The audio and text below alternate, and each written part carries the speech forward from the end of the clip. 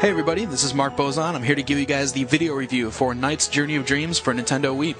Some games we come across here at IGN are pretty easy to rate. Uh, NiGHTS Journey of Dreams was not one of those. It's actually kind of tough to put a number on this one, uh, and it, it, has to do a ton because of uh, you know the nostalgia factor that we're going to get. Obviously, for some hardcore gamers, uh, NiGHTS is going to be a sequel that you've been looking forward to for over a decade. Originally came out on Saturn.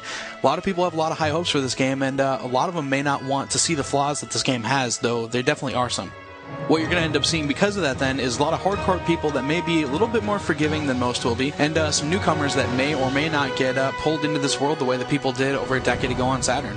We're going to jump right into it though, because there's a lot to talk about. Uh, for starters, NiGHTS opens up the world a little bit more. It's more adventure focused this time around. Uh, they kind of stray away from the traditional NiGHTS gameplay, if you will. A lot of it was about analog control, uh, flying through these kind of 2D worlds, which obviously you're going to see again. But it definitely opens the story up a little more. Some people may like it, some people may not. We happen to be on the side that doesn't quite enjoy it as much. Uh, the story follows Will and Helen. They're basically two kids that are each struggling with inner demons that are a lot alike. Uh, Will's dealing with a dad who seems to be away all the time. He used to hang out a bunch, and now he's you know uh, flying and doing trips apparently. And on Helen's side, she kind of turned her back on her mom, which you can see in this opening CG clip here. And uh, they're both kind of dealing with this, and their kind of their worries and the, all the stress of the day actually goes into the night's world, uh, Nightopia, and uh, takes the form of nightmares, which they're going to have to battle quite literally here in the game.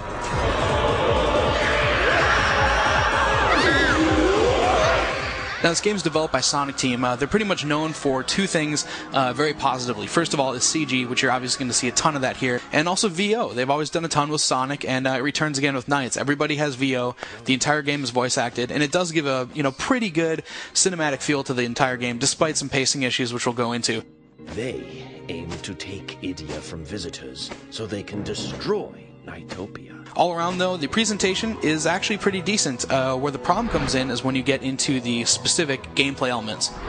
For starters, you're going to want to toss away any Wii Remote Motion or IR. Uh, there is IR in the game. Motion isn't supported, but the IR actually is not so hot as you can see here. Uh, you're instead going to want to use either Classic Controller or Nunchuck and Wii Remote or uh, GameCube Controller.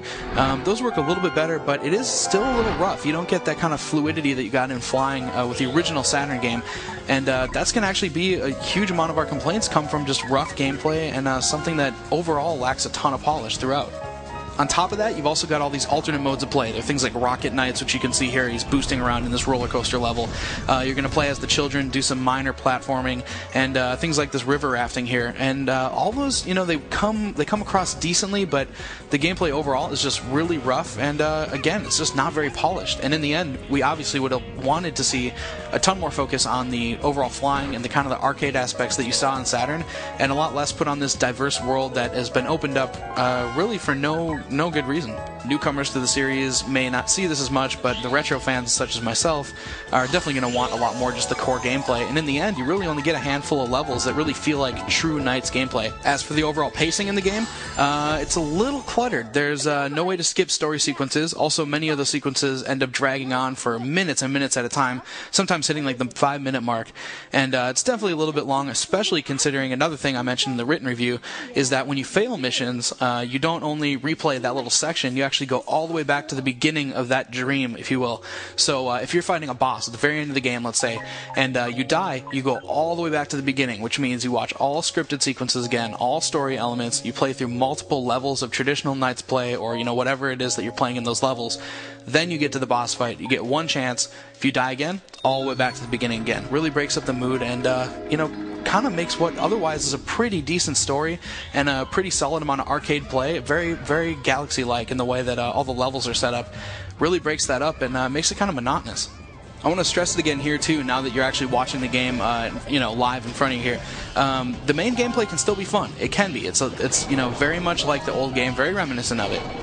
But uh, it's obviously a rushed effort. When you get the controller in your hand and you feel this different gameplay modes and all the different things you're trying to do, uh, it definitely feels like uh, they didn't quite get analog control right, which is really annoying.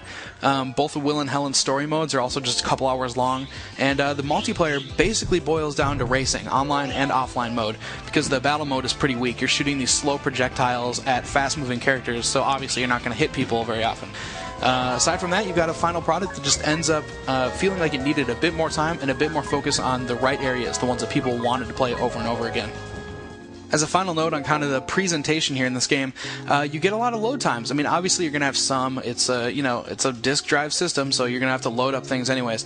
But when you retry, when you go back and do uh, sections over and over again, if you die, things like that, you get these loads all the time.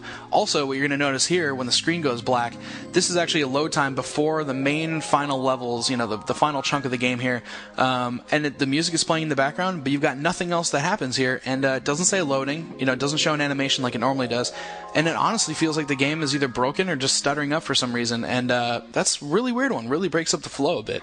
Obviously, the entire game though isn't bad. I mean, that's you know there are high points to this game. There are reasons that hardcore gamers, retro gamers that love the original game are going to want to pick this one up again, and uh, those actually come through great. Which is why, again, just like Sonic, we want to see a uh, sequel to NiGHTS. First of all, the boss battles are great. We're going to show you a couple clips here. Not going to spoil anything, but uh, they're really cool. A ton of great ideas. Uh, the game also uses a great mix of control modes. You can play with IR if you want to try it. It's very broken, but at least you can use class controller, GameCube controller, and the default nunchuck and Wii remote. There is online and local play, so if you want to play racing, you can do it locally or online. And some neat ideas to the whole My Dream World also, as a final note, the uh, music is extremely beautiful. The VO is kind of annoying at times. Some of the kids uh, don't really come across very well, and there's some normalizing issues. But uh, the music is beautiful, orchestrated music, uh, really, really wonderful to listen to. There are a few really strange tracks in there, but uh, overall pretty strong.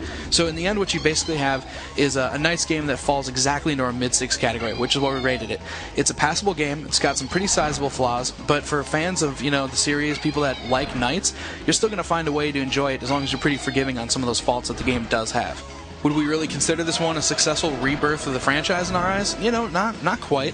Uh, it's kind of like Sonic and the Secret Rings, where uh, it's a good first step, and hopefully, if they stick with it, if they make another NiGHTS game, they'll focus on the things that really matter to the retro gamers, and will actually pull in new gamers uh, with just straight up arcade, entertaining gameplay. And uh, as long as you get the fluidity of flight, kind of work out the little weird, wonky issues that are in this game, uh, you could have a pretty solid, uh, you know, rebirth of the franchise. So hopefully they'll stick with it and really focus on what made NiGHTS originally awesome awesome and uh, put it back into a sequel for this game. For the full written review, check out IGN.com.